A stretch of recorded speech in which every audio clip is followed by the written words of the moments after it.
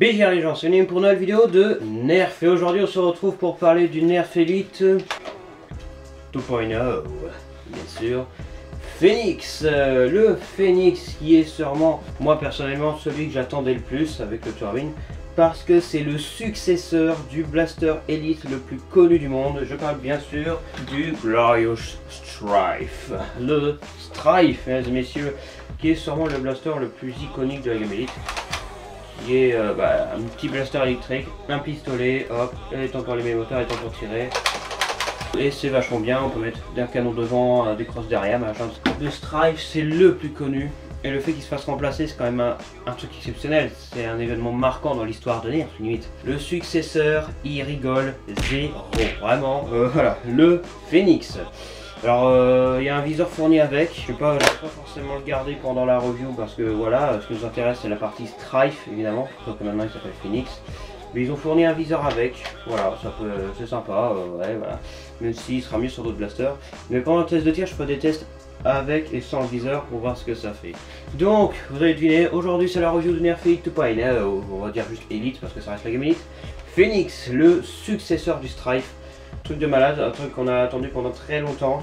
Donc, comme le Strife, c'est un blaster de type pistolet qui se coup par coup, qui est ultra personnalisable, encore plus que le Strife, parce que sur le Strife, il y avait deux règles tactiques, alors que là, il y en a encore plus. Je vais pas les montrer tout de suite parce que pour l'instant, on est encore dans l'introduction. Donc, c'est un blaster de type pistolet électrique, qui est ultra bien. Franchement, c'est, euh, il a l'air vachement bien pour l'instant. Évidemment, je ne compte pas les modifs, mais on parle des nerfs de base, ce sont des jouets. Et vraiment, vraiment, ce nerf là, c'est une bombe atomique. C'est vraiment un truc de malade. C'est parti pour la review, évidemment.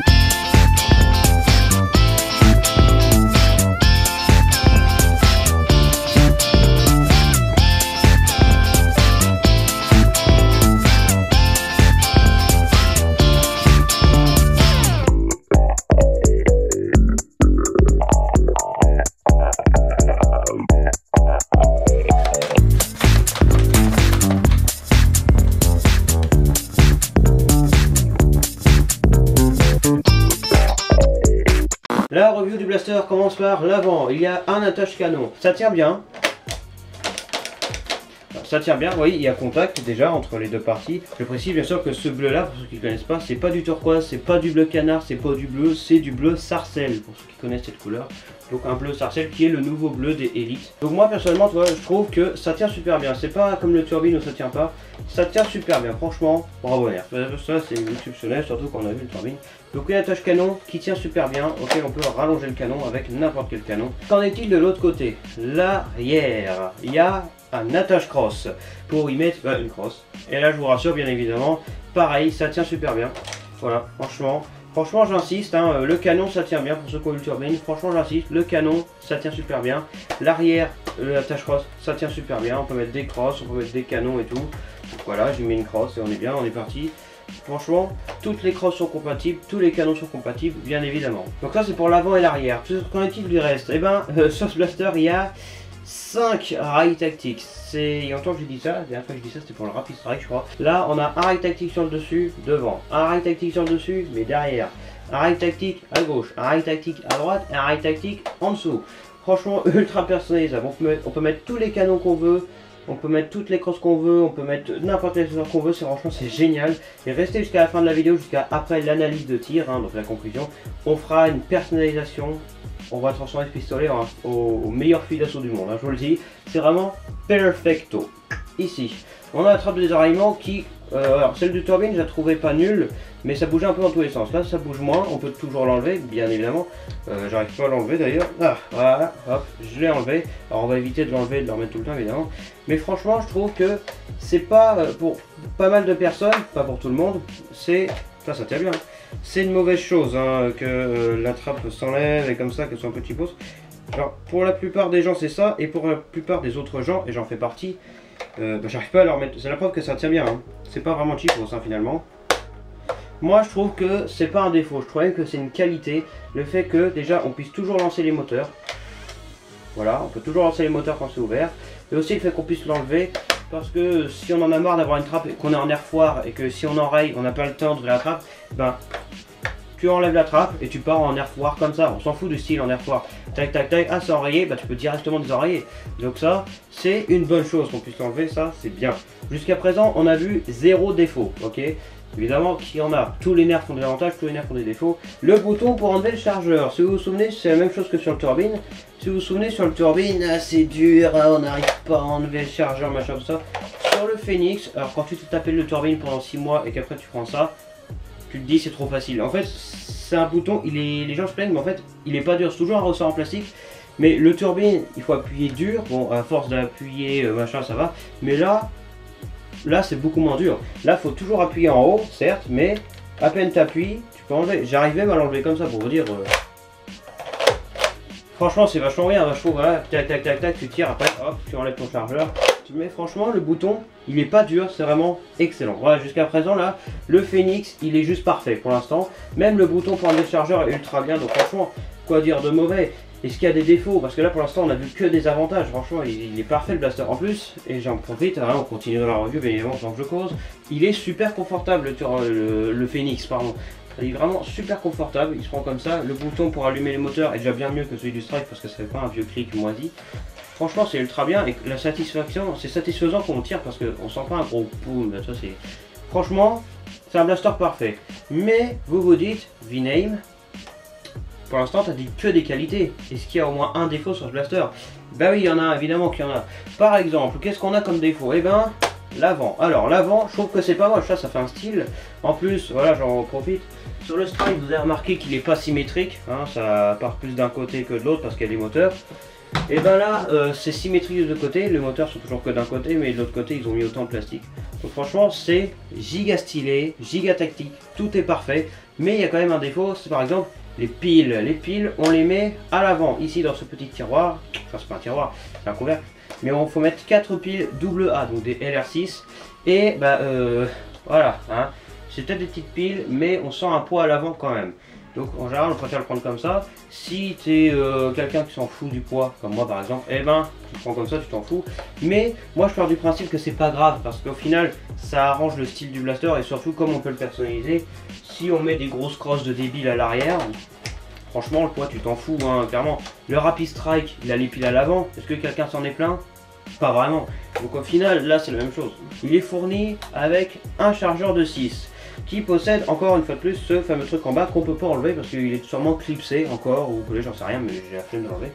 Petit chargeur de 6 qui fonctionne parfaitement et le blaster lui-même est fourni avec 12 fléchettes dont 6 euh, bah, sont originales donc bleu à tête orange et l'autre euh, moitié de 6 est comme ceci donc c'est inverse orange à tête bleue. Ils fournissent à chaque fois le double des fléchettes donc il y a 12 fléchettes élite classique. Et donc du coup au niveau du style, et eh bah ben, franchement il est giga stylé ce blaster, je le trouve vraiment ultra stylé comme tous les Elite 2.0, comme tous les nerfs finalement, tous les nerfs sont stylés. Mais là on a le nouveau style, Elite a vécu beaucoup de styles, entre les petits carrés, les rayures, ou plutôt les éclairs, ou les plaques en métal. Maintenant on a les vis plaques de métal vagues, c'est comme ça que j'appelle ça ce style vague, hein, voilà, parce que ça l'effet du moulage de plastique qui est fait comme ça exprès, et c'est fait exprès, oui. Et ben du coup, je trouve que c'est vachement stylé, le moulage et tout. On a des effets de vis, on a des effets de plaque en métal, des effets de trouage, des effets d'aération. Franchement, il est ultra stylé ce blaster. Franchement, pour l'instant, il n'y a que des avantages. Le seul défaut que j'y vois, c'est juste les piles à l'avant. Mais bon, encore une fois, la plupart des gens s'en foutent un petit peu. Et le fait aussi qu'il n'y ait pas énormément de vis. Je crois qu'il n'y en a que 7 sur ce blaster. Euh, évidemment, je compte pas le fait qu'il est, ultra chiant à démonter parce qu'il y a des petites parties, notamment ici, auxquelles c'est soudé au solvant. What? Et il y a d'autres parties comme là où c'est clipsé. What? Et surtout, il n'y a pas énormément de vis. What? Franchement, voilà. Donc euh, c'est tout ce que je peux dire, voilà, franchement voilà. Mais pour beaucoup le Strife c'est le meilleur blaster du monde. même si pour, logiquement c'est le Demolisher qui est caché derrière le gilet. Là, qui a été élu meilleur blaster élite du monde, je sais pas si on le voit, il est là. Mais euh, franchement pour la plupart des gens la référence c'est le Strife. Et ben le successeur du Strife, moi je dis oui, clairement. Après, euh, la plupart des youtubeurs, la plupart des gens, dites-vous qu'ils ne pensent qu'à une chose, la puissance. C'est pour ça qu'ils disent que c'est moins bien que le Strife ou pas. Il y en a même qui disent que c'est pas le Strife. Effectivement, c'est pas le Strike, c'est le Phoenix. Ah, t'es drôle toi. Mais euh, voilà. Mais euh, à chaque blaster, ses spécificités. Hein. C'est celui sur du Strife. Il faut bien qu'il y ait des différences. Si deux blasters sont complètement similaires, ça n'a aucun foutu d'intérêt. Mais euh, là, il y a un petit bonus. Déjà par rapport au Strife, il est plus personnalisable. Il est plus tout que le Strife. Enfin, on n'a pas encore vu le mécanisme, hein, on va voir après. Mais en plus, il est fourni avec un viseur. Alors pourquoi il est fourni avec lui et pas avec le Echo par exemple? Voilà, pour l'instant on n'a pas de sniper chez, euh, Elite 2.0, mais il y, a un nouveau Elite 2.0 qui a été annoncé, c'est le Flip Shot je crois. Mais on verra ça euh, plus tard, sûrement euh, bah, j'en ai parlé la dernière fois dans un live je crois. Donc voilà, bim, avec le viseur fourni avec. Alors sur la boîte c'est indiqué qu'il est mis à l'avant, mais je vous rappelle qu'il y a 5 rails tactiques sur ce blaster, donc on peut le mettre à l'avant. On peut le mettre derrière. On peut le mettre sur le côté, voilà. Gangster Mode. De l'autre côté, ça c'est bien aussi, voilà. Pour les gauchers, Gangster Mode, voilà, on adore. Et enfin, on peut le mettre dessous. Bon, quoique pas vraiment parce que... Voilà, mais bon, sur le dessous, on va surtout mettre autre chose. Déployer, mais encore une fois, rester parce qu'on va faire une personnalisation. Mais maintenant, en termes de mécanisme, qu'est-ce que ça donne? Ah oui, en fait, petite pause comme ça, mais pour ceux qui se demandent, non, c'est pas cheap. C'est aussi qualitatif que tous les autres élites du passé. C'est pas pour ça que c'est critiqué, merci. Voilà. Mais franchement, c'est pas vraiment critiqué, c'est surtout, c'est franchement, c'est excellent. Mais on va voir un test de mécanisme, encore une fois, je leur dis, comment ça fonctionne. Donc, c'est un blaster électrique. Dans ce petit tiroir, on met 4 piles AA, dans le bon sens, merci. Et comment ça fonctionne On a un bouton pour allumer les moteurs, un bouton pour tirer, ça tire au coup par coup, et le bouton pour enlever le chargeur, qui contrairement aux turbines, n'est pas vraiment dur. Et ça, c'est une bonne nouvelle. Évidemment, je ne l'ai pas dit, mais tous les chargeurs sont compatibles, hein, donc je peux mettre le chargeur de 50, qui est là par exemple, les normes avec écrit Elite en gros dessus. Je peux le mettre, voilà, tout à fait. Et comme c'est compatible avec tout, et eh ben on peut tirer n'importe comment et ça c'est ultra bien. Mais comment cela fonctionne-t-il? Et eh ben déjà on va, euh, je vais vous faire écouter le bruit des moteurs. Vous allez voir que contrairement à plein d'autres nerfs, et ça même ça m'a choqué, il fait très peu de bruit. Mais vraiment, écoutez ce bruit.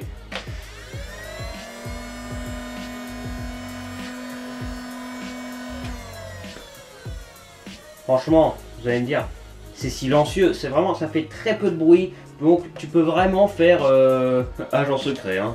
Bonsoir. Ouais. T'as le turbine. Le turbine qui est très silencieux aussi. Les moteurs sont améliorés. Hein. On a de super moteurs. Mais euh, en comparaison de bruit. Euh,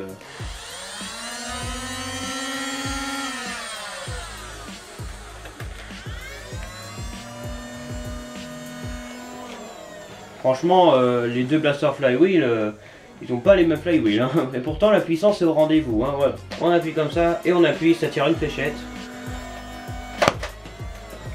Franchement, ça tire super bien pour l'instant. Et donc du coup, je vais vous montrer, évidemment, pour ceux qui connaissent en air, comment ça fonctionne.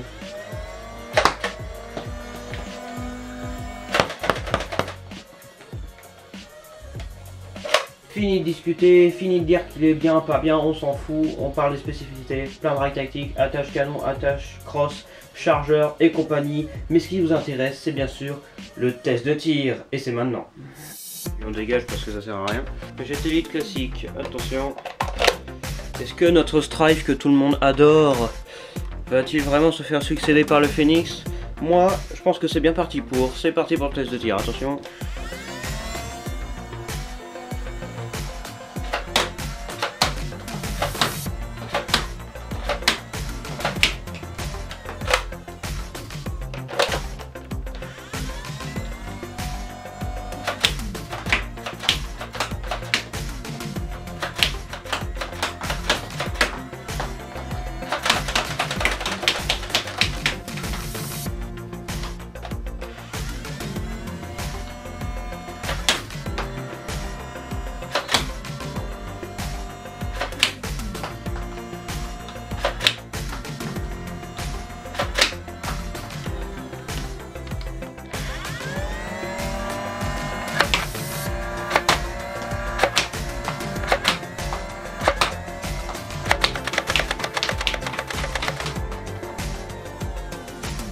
Fenster.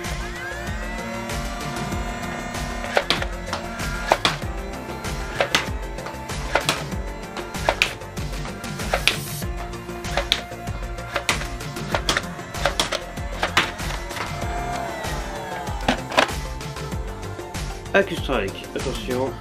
Oh, la végéta un peu mise.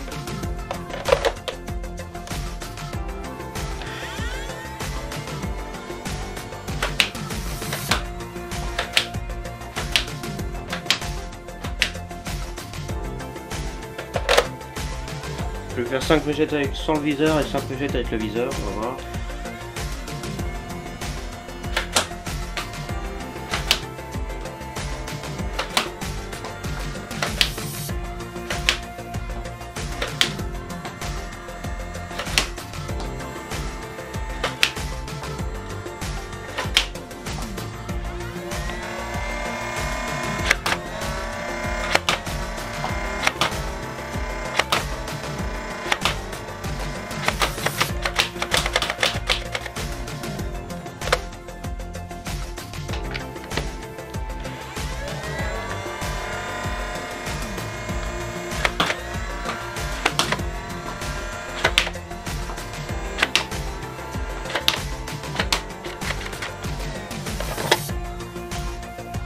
Rapide avec le Stripe.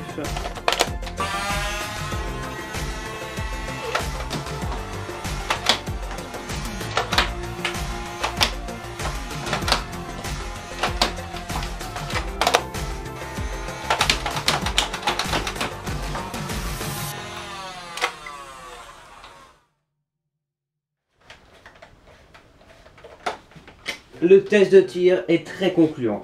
Franchement, on a une bonne patate. J'ai même fait une petite comparaison avec le Strife. Vous voyez que la puissance est relativement la même chose. Donc c'est un Strife amélioré, clairement. C'est le but du Phoenix. Franchement, le Phoenix, c'est vraiment bah, le Phoenix. Il porte bien son nom, hein, franchement. Voilà. Donc, alors, analyse de tir. Comment ça s'est passé? Bah ça s'est super bien passé. Franchement, ça tire bien. Avec la Q-Strike, ça tire bien. J'ai fait un test, mais ça sert à rien de mettre le viseur et de viser avec. Franchement, c'est pas mal, voilà. Et d'ailleurs, le viseur, le viseur lui-même, voilà, petit euh, arrière-plan, voilà, c'est sympathique tout ça.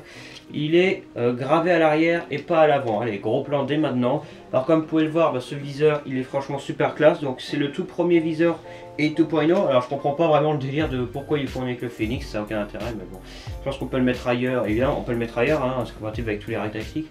Et comme vous pouvez voir, il est gravé à l'arrière en forme de cible, et de l'autre côté, il n'y a absolument rien, c'est voilà. Mais de toute façon, ça sert à rien, puisqu'on vise que d'un côté, euh, voilà, on n'est pas là pour mettre le viseur à l'envers, tout pourri. Franchement, le viseur lui-même est très classe, moi j'aime beaucoup. Et bien sûr, on peut le mettre sur n'importe quel blaster. Revenons au blaster et au test de tir. Comment ça s'est passé? Bah, ça s'est passé super bien. Franchement, ça tire bien, c'est une bonne patate. Et je peux vous dire que, bah, avec la Q-Strike, j'ai touché le centre, voilà, j'ai visé avec le viseur par moment, et c'était vachement bien. Bon voilà, du coup ça s'est bien passé. On peut vite enchaîner les tirs, tac tac tac tac tac tac tac. Je vais essayer d'enchaîner ici, fait très vite, attention. Voilà, 6 fléchettes de partie. Franchement, c'est ultra bien. Franchement, c'est un strife amélioré, vraiment. Hein. Je peux vous faire la même avec le strife d'ailleurs. Hein. Attention, je vous fais la même. 6 fléchettes de partie. Vraiment, c'est vraiment le successeur, hein, le Phoenix. C'est la même chose, quoi. Franchement, sauf que le Strike, la différence, c'est que bah là, pas de rail tactique, là non plus, là non plus, et la taille est pas symétrique. Mais à part ça, c'est la même chose. Voilà. Et le Phoenix, c'est moins cher aussi. Le bouton porte de chargeur, qui est un peu plus dur hein, sur le turbine. Attention, 18 fléchettes qui vont partir très vite. Est-ce que vous êtes prêts?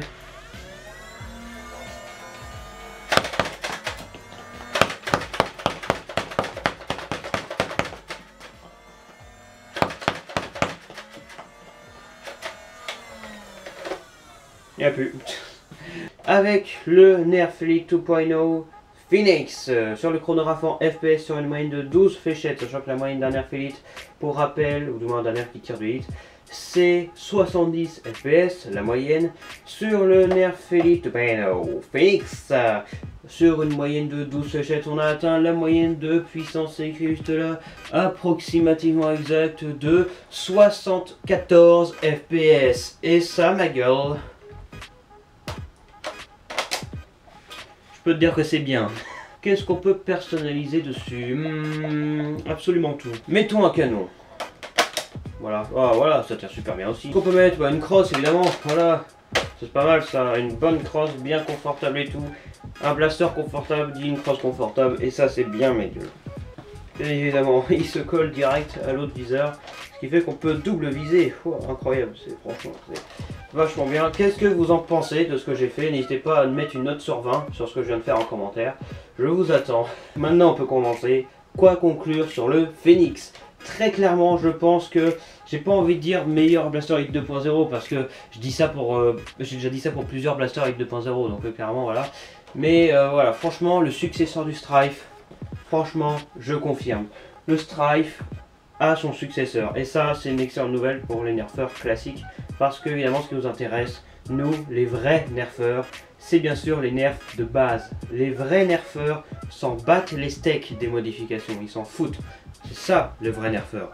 Un vrai nerfeur, c'est un nerfeur qui utilise un blaster à la base, il ne le modifie pas.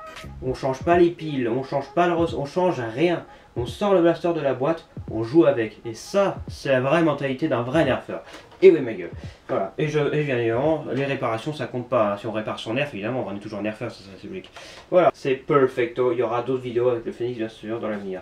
Merci d'avoir regardé cette vidéo. Si elle vous a plu, likez, euh, commentez, abonnez-vous et surtout partagez pour qu'un maximum de gens voient ça. Parce que, juste pour information, bon, c'est pas pour me la péter, mais voilà, je préfère le dire, je suis le premier français à présenter le Phoenix. Voilà, je suis quand même le premier.